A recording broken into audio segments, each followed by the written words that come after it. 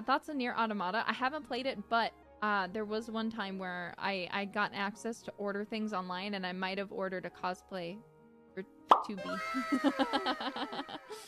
Uh, She's so sexy, man.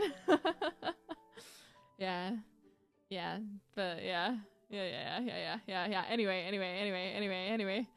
Guys, move on, move on, move on. Uh, don't write that down. Oh no, guys, stop. You're zooming. You're zooming. Yeah, I couldn't wear something that lewd on my stream.